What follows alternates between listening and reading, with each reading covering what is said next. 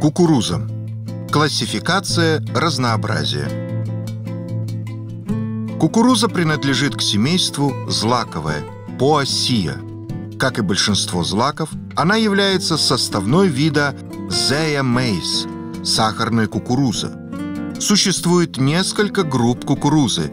Сладкая кукуруза – зея маис закарата, которую можно есть сырой, когда початки еще молочные, вареной или на гриле. Высыхая, ее зерна сжимаются.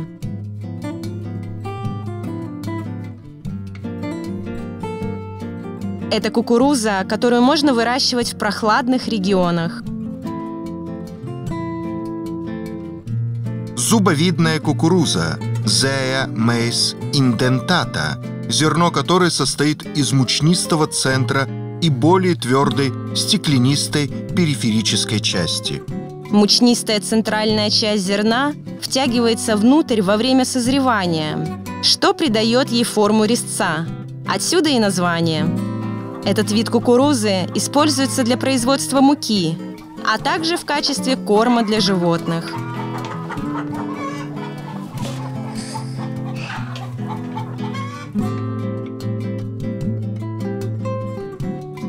Кремнистая кукуруза Земаис имдурата. В отличие от зубчатой, имеет зерно с очень мелким центральным мучнистым участком и более крупной стекловидной частью. Поэтому ее в основном используют как крупу для поленты.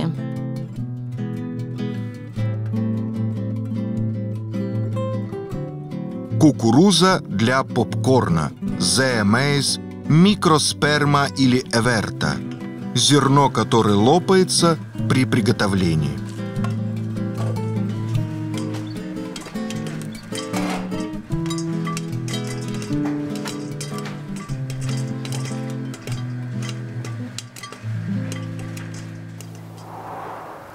Опыление.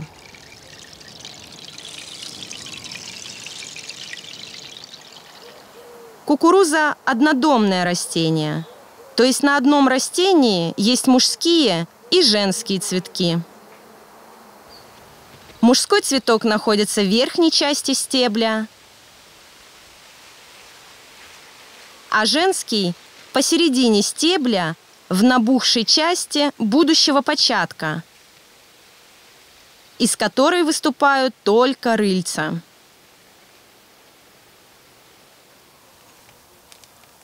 Каждое рыльце связано с яйцеклеткой, которая после опыления даст зернышко на початке.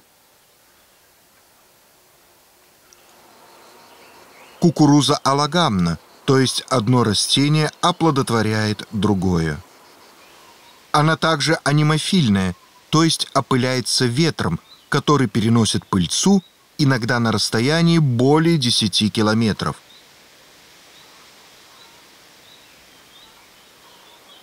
Кукурузу следует сажать группами не менее чем в три ряда, чтобы ветер мог переносить пыльцу достаточного количества для опыления.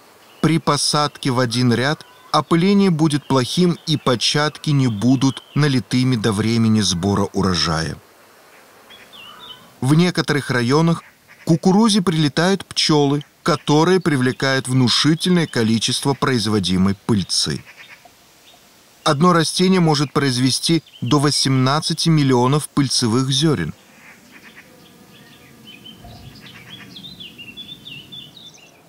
Чтобы избежать нежелательного скрещивания, два сорта кукурузы должны быть посажены в пределах трех километров друг от друга. Это расстояние может быть уменьшено до одного километра, если есть такой естественный барьер, как живая изгородь. Также возможно практиковать изоляцию во времени. Два сорта кукурузы высеиваются в одном саду с интервалом в несколько недель. Следует следить за тем, чтобы мужские цветки первого посевного участка кукурузы высвободили свою пыльцу до появления женских цветков второго посевного участка кукурузы. Иначе перекрестных скрещиваний кукурузы не избежать.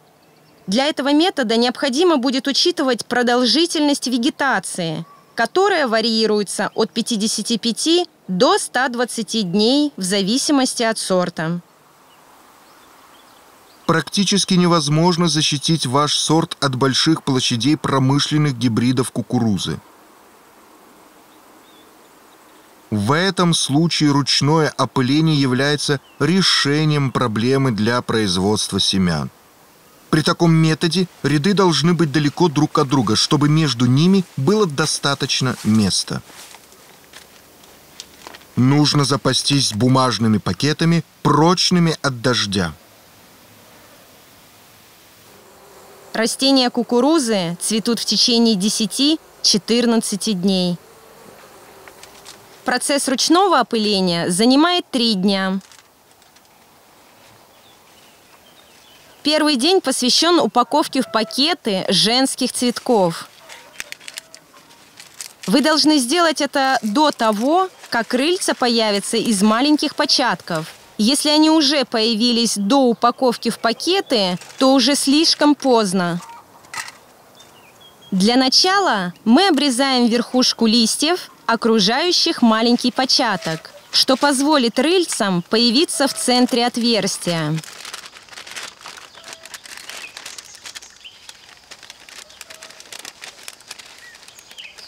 Затем помещаем початок в пакет и надежно закрепляем его у основания. Упаковка мужских цветков происходит утром третьего дня, когда из вертикальных и боковых стеблей цветоносного стержня начинают выходить пыльники – мужские органы. Будьте осторожны, если пыльники все еще зеленые, пакеты могут приостановить их развитие. Перед упаковкой растения встряхивают, чтобы смахнуть пыльцу других сортов, возможно, принесенную пчелами или ветром.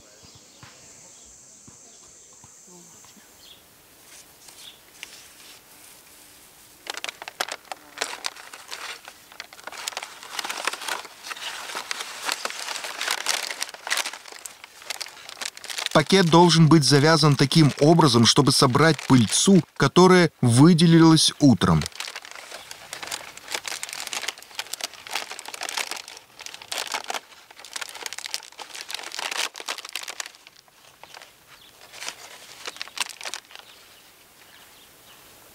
Большая часть пыльцы выделяется после высыхания росы и до полудня. Помогаем ей упасть нанося несколько ударов по цветкам.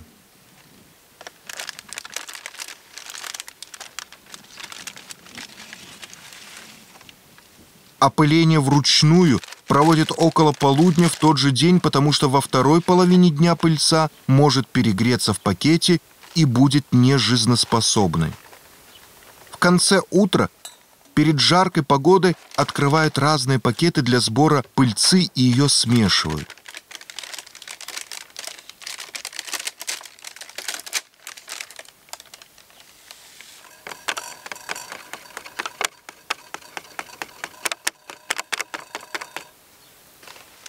Затем открывают пакет с початком.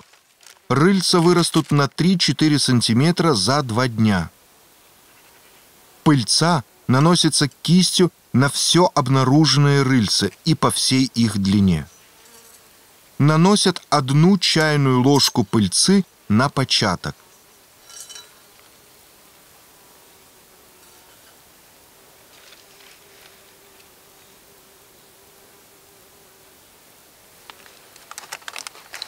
Пакет с початком немедленно закрываем, оставляя достаточно места для его роста и развития. Рыльца восприимчивы к пыльце в течение нескольких недель. Таким образом, початки оставляют в пакетах до сбора урожая.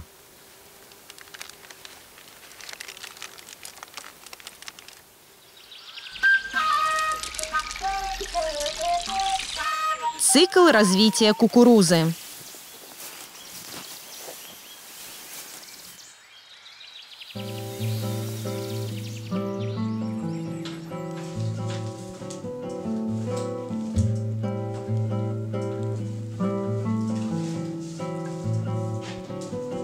Кукуруза однолетнее растение, которое будет производить свои початки в течение одного года. Семенные растения кукурузы выращиваются так же, как и кукуруза для потребления. В общем, вы должны убедиться, что вы выбрали сорт кукурузы, адаптированный к вашей среде.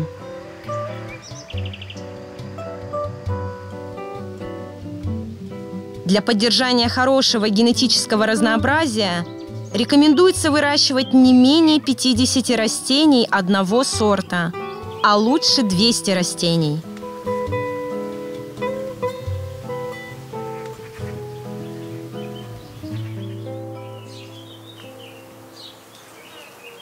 При отборе отдавайте предпочтение растениям, которые развивались правильно и в соответствии с критериями сорта учитываем размер, цвет, жизнеспособность, скороспелость, размер початка и насколько хорошо он обернут.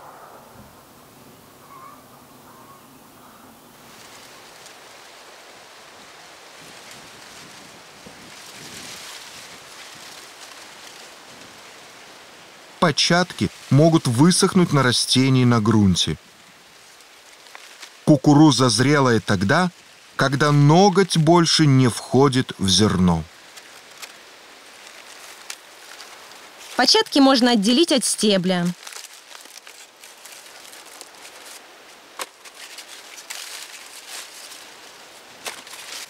Шелуха оттягивается назад, чтобы раскрыть початки, и их хранят в сухом, проветриваемом месте.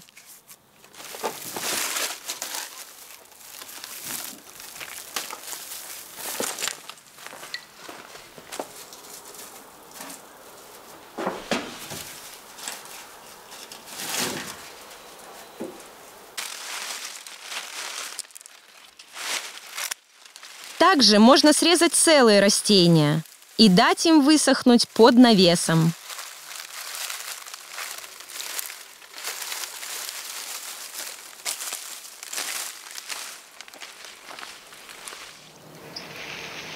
Извлечение, сортировка и хранение семян. Початок должен быть выбран в соответствии с формой семян, цветом, количеством рядов зерен и их упорядоченностью или текстурой.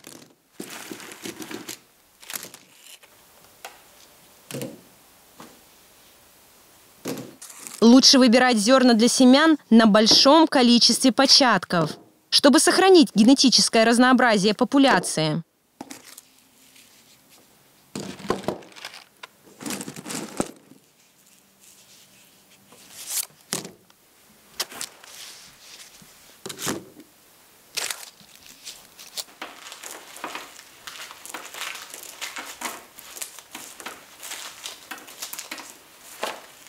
А также рекомендуется брать семена с середины початка.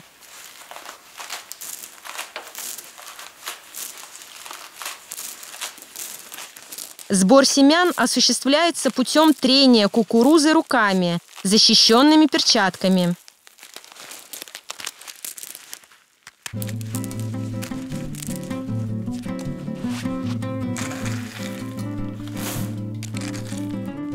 Всегда нужно помещать в пакет этикетку с названием сорта, вида и года производства семян, потому что иногда надпись на пакете может стереться.